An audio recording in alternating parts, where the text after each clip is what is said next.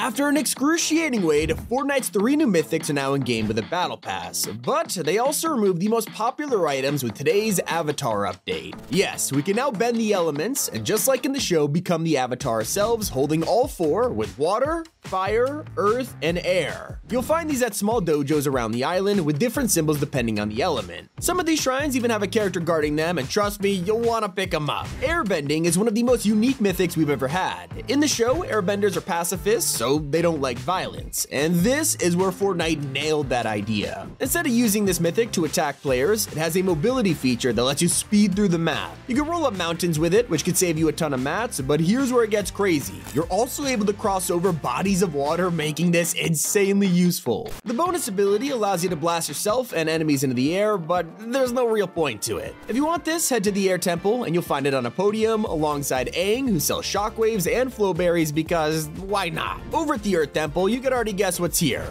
Earthbending lets you fire rocks at enemies. There's only five uses, but it'll recharge over time, not to mention you can straight up spam these if you have more than one. I totally recommend aiming this at builds. Not only does it one-shot wooden brick, it deals damage through the walls, making this insanely powerful. You would think Epic would have learned their lesson from Thunderbolt, so I'm willing to bet this gets nerfed. There is also a bonus feature that lets you protect yourself with this mythic. It drags the ground up and creates a stone barrier, just like an ice wall from the My Hero collab. At the Earth Temple where you get this, Toph can be found, and if you talk to her as Aang, she'll call you Twinkle Toes, which is an awesome reference to the show. The most promising item lets you firebend. This is the simplest mythic, yet it's really satisfying to use. Just point at an enemy and blast him with fire. You can spam this over and over again without a cooldown. It's only 40 damage per hit, but if you have good aim, enemies are screwed. Of course, you'll find this protected by Zuko at the Fire Temple, where he sells cluster clingers and EMP grenades. Talk to him as Aang, and he'll throw shade at you. I have spent years training for this day, then you're just a child. Then, of course, we have water bending, an item that's been in the game since Korra dropped. It was super weak, leading Fortnite to drop a hotfix, increasing the damage, fire rate, and ice speed. Today, they updated it yet again, this time creating a water temple near Mount Olympus. You'll get two mythics and can find Katara as an NPC, selling a top up and a Flowberry Fizz. But if you want to top up your health for free, just stand in water with the Mythic. Now, I mentioned the Battle Pass, which has brought Aang to the game. You get him immediately for buying it, but there is other in here which are amazing references for Avatar fans. Aang's Air Sphere is a traversal emote which he loves to do in the show, while the Momo backbling is his adorable pet lemur. He sits there and takes a nap, but if he gets shot at, he'll cower away in the bag. Speaking of companions, Appa is the special glider hiding in the Battle Pass. As you complete the quest, you'll earn chakras, and if you collect all six, you'll get Appa for free. You don't even need to own the pass. He is probably one of the coolest gliders we've had in a while. After breaking free from the iceberg, now he's available to ride down onto the island, and when you deploy the glider, he'll even make his iconic growl. Do wish they took this a little further, her glider's pretty cool, but imagine if they brought back Klombo reskin as Appa, now that would be insane. There are details we could appreciate. I personally love the Avatar's Flourish emote. This is part of Korra's secret quests, and when you unlock it, this works with any outfit. Except, if you use it while dressed as Korra, her eyes glow. Makes sense considering she's the Avatar, but with Aang dropping today, we wonder, does it also work on him? Turns out, his eyes glow too, something other skins cannot pull off. While you explore the map looking for temples, keep an eye out for an incredible Easter egg. Around the island, there are cabbage carts for you to eat from, even though they're mostly destroyed. While most players walk straight past this, fans know exactly what it's referencing.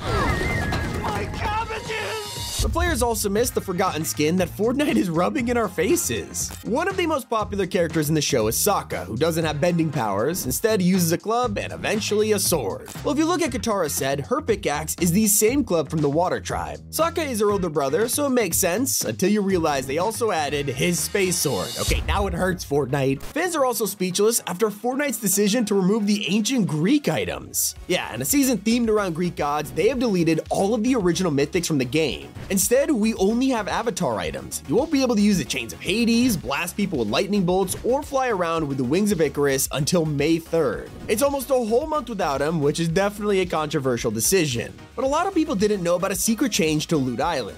Now when you claim it, you'll earn more items, with the game handing you avatar mythics on top of the gun drops. A lot of people think this makes Loot Island totally worth it now, but on the other hand, you can find the bending abilities pretty easily. But Fortnite completely messed up with the brand new Rocket Racing Pack. This was the very first quest bundle, giving you an exclusive car, outfit, and quest to earn styles. Except in Hungary, players loaded up the store only to find out the bundle cost 25 cents. Probably the weirdest mistake Epic has made in a long time, causing them to lose a ton of money. Speaking of uh, strange decisions, last season there was a whole storyline dedicated to Peely being kidnapped. It was really odd because Fortnite didn't acknowledge it for most of the season, and we found out how it ended through a loading screen. With Jones saving Peely, this was never talked about again until now. With today's update, Peely is on the map and says he's thankful to be free. Then, if you talk to him as Vengeance Jones, he gives you a hug, except he won't actually hug you, it's just dialogue that says he's doing it. Peely's not the only one that doesn't know what's going on. Fans of Avatar will know Toph is blind. They always joke about it, and Fortnite nailed this energy perfectly with Aang's NPC mocking you when you use her skin.